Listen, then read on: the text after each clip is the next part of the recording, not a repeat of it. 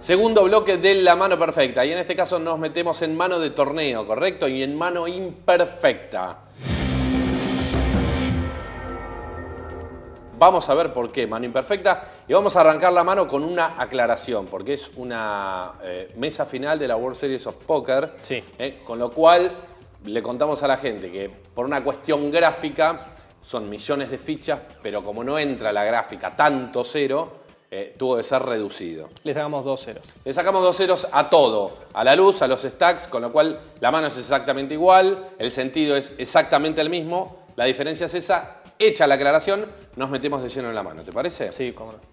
Es el año que ganó Peter Isgate. Correcto. Y esta es la mesa final, Brian. Esta es la mesa final, correcto. Yo quería que gane Demi Doble, voy a ser honesto. Ajá, que, Me no- parece que estaba- era mejor es jugador. en este momento el chip leader, Sí, en ese momento estaba chip leader eh, y aparte era el mejor jugador de la mesa. el mejor jugador de la mesa. Sí, pero bueno, después no tuvo muy, mucho éxito. Antes sí, ese año había hecho también la mesa final de World Series of Poker Europe.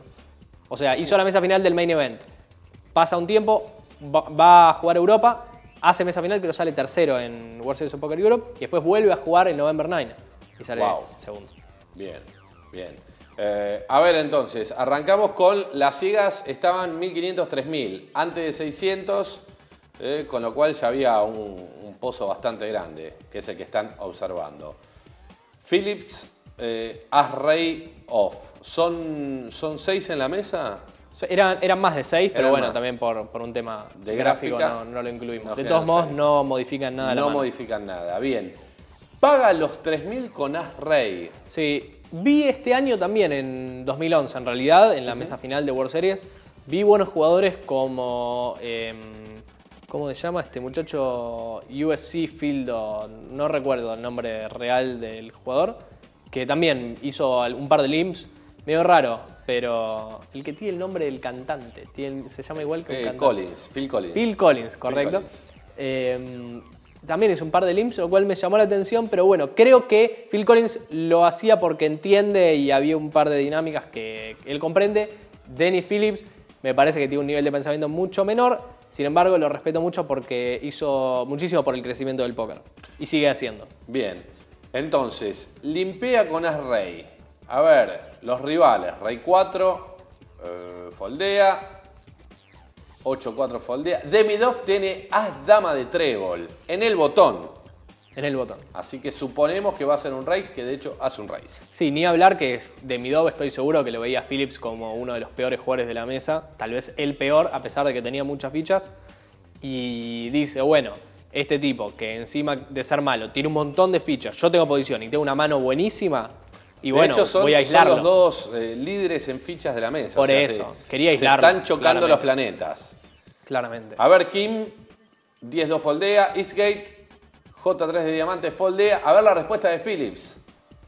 Wow, otro, Sí, otro race. Hace un limp race. Eh, cuando un jugador muy malo hace estas cosas, generalmente tiene una bomba y está Sí. muy poco. No sale de tres o cuatro manos. Está cero incluir. balanceado el rango este. No está cero, o sea, nunca tiene eh, par de tres. Nunca. Nunca. Entonces, Demido tiene que jugar con cierta cautela. De todos modos, es mucho mejor que Phillips, con lo cual puede pagar y, Y ver qué jugar. pasa. Y más composición. Sí. O O, puede forbetearlo y que Phillips juegue muy mal la mano, o sea, o playarlo fuera de posición. El problema con esto es si Phillips decide ir a fondo con As-Rey. preflop. Preflop. O sea, si le llovean, no creo que pague Claro. Demidov. Lo cual es malo el forbet si, si Demidov acá decide Hasta acá forbetear. estamos. eh, viene triveteada la mano. Sí, si este es Dem- el trivet. Si Demidov decide forbetear y foldear, no me gusta. Bien. Para mí hay- tiene que pagar acá.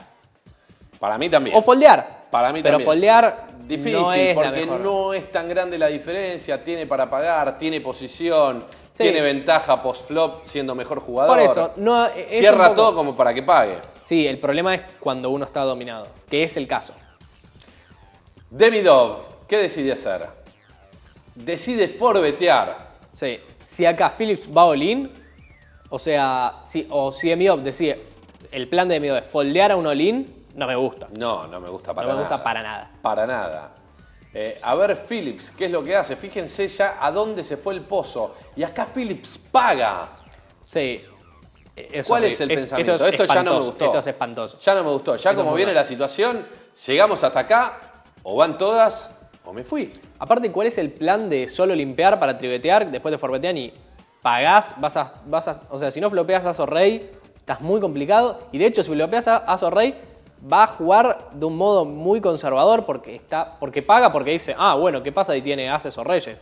Estoy seguro que no paga porque dice, seguro tiene 7-2 y lo estoy matando, entonces va a tratar de mentirme todo y voy a checolearle O sea, hasta el eh, fin del es mundo. como que eh, reculó un poco Phillips. Sí, no tiene ningún sentido. Aparte, el pozo ya es 17 millones y le quedan 17 millones Sí, a sí, los sí, dos. O sea, No, no, no, no, no, no hay marcha este atrás. era un clarísimo all-in. Clarísimo. Clarísimo. Clarísimo. Clarísimo. Bueno, por, por eso se llama la mano imperfecta. Eh, pagó, a ver el flop, ¿qué es lo que trae? 8-10J. 8-10J es lo que trae el flop. Es un muy buen flop para Demidov.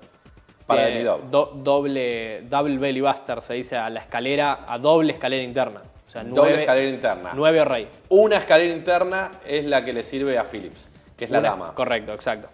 Eh, Para Phillips es un muy mal flop este. para Phillips es un muy mal flop. A ver, ¿qué es lo que hace Phillips? Una apuesta, bueno, en, en estos números de 45 mil. Sí. En estos números. Horrible. El te- si lo gana acá, es de suerte, básicamente. O sea, es casi imposible que Demidov tenga una mano con la que no vaya a estaquearse acá, en ese flop, salvo nueves. A ver, No, no, Demidov en ni qué, siquiera, o sea- Demidov en qué mano lo puede poner también a Phillips. Es raro, es, Es, difícil. raro, es difícil, pero la línea de Demidov de Phillips es tan mala, es tan ridículamente mala, y es bastante improbable que tenga ases. Con Reyes creo que hubiese sido Lin. Sí. Él tiene una dama también. o Con sea, Aces la podría haber jugado así de mal también. Claro, pero él tiene un as en la Demidov tiene un as en la mano. Sí. Con lo cual ya tiene un, tiene un blocker para ases y un blocker para damas. Con Reyes me parece que va Olin. ¿Y qué tiene? O sea. Es muy Phillips es muy malo, aparte. Sí. Bueno, eh, no, no lo sé. Eso no, yo no lo sé particularmente. Vos me decís Yo que creo es así, te creo. Hay un tema también, y es que el flop es muy bueno para Demidov. Y aparte, supongamos que Phillips tenga. Pero, a ver, muy bueno. Tan bueno no es. tiene 8 Tan outs. bueno. Tiene 8 outs a, a básicamente Nuts, digamos. ¿Sí? Sí. a, a una mano que no le pueden ganar. Y en todo caso, tiene los ases también. Él en su cabeza dice, bueno, tengo 8 outs a nuts y 3 outs a as, y por ahí la dama también vale. Por ahí vale. Por en ahí una vale. de esas, no sé, 25% de que valga la dama. Son un montón de outs. Claro. Está no vas a foldear acá.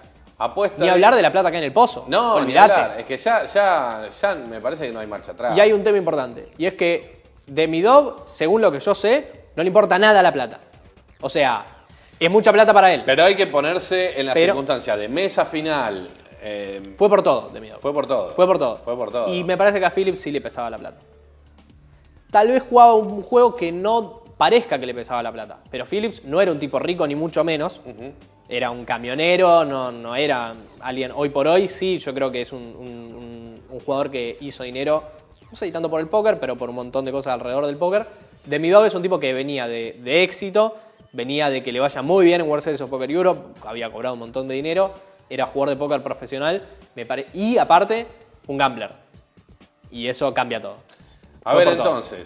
Teniendo esos antecedentes de Midov, ¿va por todo? Sí, va por todo. Va por todo. Lo pone Olin a Phillips. Sí, está Lo perfecto. pone Olin a Phillips y Phillips paga. Uno imagina que va a pagar. No. Foldeó.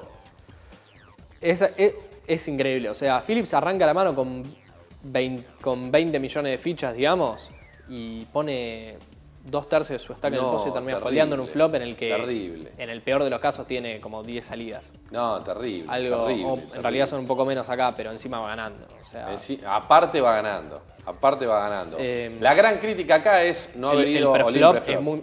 A ver, la mano es muy simple porque esta mano podría haber terminado del siguiente modo.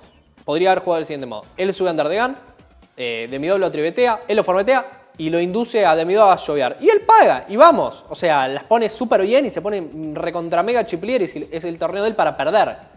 Pero, o sea, lo tiene para perderlo porque lo tiene básicamente ganado.